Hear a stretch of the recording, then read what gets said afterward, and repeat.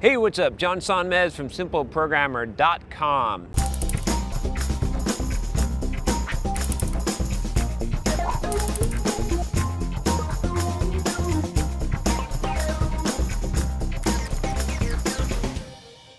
So I got a, a question here.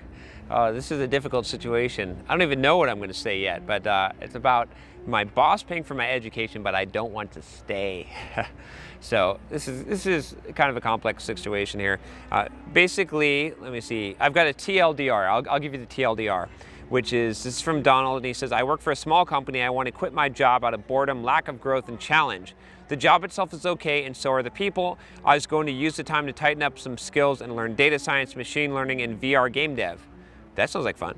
Uh, but my boss threw me a curveball and offered to pay for my education, and it looks like it's been approved. I'm 33, and time that isn't dedicated towards getting better at my end goal seems like uh, time better spent elsewhere. Would you stick it out? Uh, I've checked out a few videos and I think you would say to stick it out for a bit and take the offer.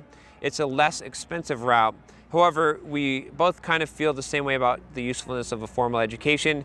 Uh, and he lists a few videos that uh, I, I took uh, a look at. So he's already, he's already shown me some videos so I don't point to those videos. That's a good way to get your, your question answered here. Uh, anyway, this is a good question. I think it's worth answering. So there's a few different things here to consider, right? This is a, one of those things, again, that's not a clear cut, straightforward yes or no problem. I did this video on, gosh, on kind of the value of money. I can't remember, it was, it was a video about, about I think it might have been even related to paying a mortgage on your house or, oh, spending money or not. I, I can't remember the exact name of it, but essentially, one of the biggest elements here is what is the value uh, that, that this company is paying for for you? What is the value of this education, right? So, so both in monetary terms, first of all, you got to figure out in monetary terms, right? What school you're going to go to and how much is it going to cost. How much are they actually paying for for you? You know, maybe it comes down to the fact that they're only paying you, paying like 10 grand. Maybe it's a state school and it's cheap. I, I don't know. Like, well, figure out what the cost is, the value of the education. Maybe it's 50 grand. Maybe it's 100. That's going to greatly influence your decision here, right? If they're like, oh, well, you know, we got you into a, a fellowship program where you're going to get to study at Yale and get it, and we're going to pay for the whole thing, and you won't even have to, you, you only have to work part time, and you know, take it, do it, totally worth it, right? But if it's like, oh, well, we're going to pay for a couple of classes at a community college for you okay, you know, then, then, then the next thing to look at is, so you got the value, you figure out how much this thing is worth, right? Then you say, what is money worth to me? If you're making a lot of money, if you're making, you know, 100 and, 100 and something thousand a year and, and, and they're offering basically what amounts to $20,000 over four years that they're gonna pay for you for your education, skip it, not worth it. Unless you really wanna do that, uh, because you'll be working another a job that you don't want to work. You'll be passing up career advancements opportunities to save 20 grand, to save five grand a year. Not worth it, just pay five grand a year. You can find a job making more than five grand a year if you move on in advance during that four year period. But again, if it's like $50,000 or something like that, then you might have to consider. And it, it, depends on how much that value of money is to you, right? It, it's, a, it's a sliding scale. As you make more money, you have to start making decisions that you know I've did this I've, I've done this video uh, that I called the five dollar rule right? At some point in my life I started making enough money where I implemented this five dollar rule and I said if it costs less than five dollars I don't even make a decision about it. I just I just do it, right? I don't clip coupons that save me less than $5. I don't worry about anything less than $5. Since then, I've changed that to kind of the $20 rule, right? I, I basically, and that has to graduate. At some point when I make a lot of money, it'll be the $100 rule. I won't care about anything, any purchase or anything $100 or less, right?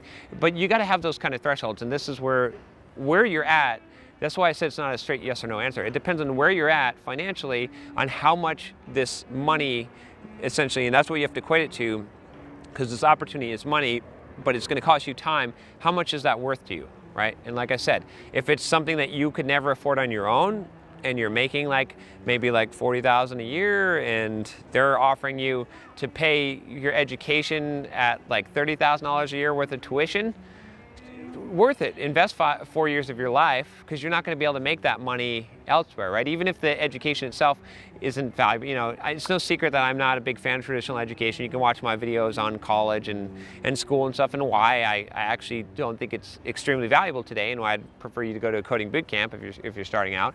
But you can still make the most of it, right? And again, you can go and you can you can learn. Like you can choose to not just quote get the degree, but to apply yourself and learn and to use this as, a, as an opportunity to really learn in depth and, and to increase your skills. So you can use that education, especially if you're getting it for free.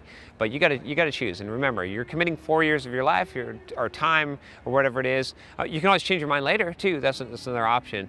But I think you're gonna have to weigh that out and, and see where you're at. You know, if I had to give like general advice of, of where I would lean towards this is if you don't like this job and you feel like it's unproductive and you're wasting your time and you don't see advancement there and you don't see the value of getting the degree, then you know it's gonna, it's to lean very heavily and don't take this and move on. You know you'll have other opportunities. But if if again if situations are different for you or you're really like trying to make it and, and you don't have a lot of financial opportunities, this could be golden, it could be worth you know, sucking it up and, and, and, moving on. You could also try it out and, and you know, you might burn some bridges, but that, that's another option as well. So it's your life. You got to make the decision that that's going to be best for you. Anyway, uh, if you like this video uh, and you would like to subscribe, it's real simple to do. All you gotta do is click the subscribe button. Not a big decision you have to make. I'll just make it for you. Just click the subscribe button. You'll be a subscriber. All right, and you'll get two to three new videos a day, which I do on all kinds of topics from oh, fitness to uh, finance to college and career advancement and personal development, getting the right mindset to succeed in life. Uh, definitely check it out. Uh, and you can check out some of my past videos if, if you'd like.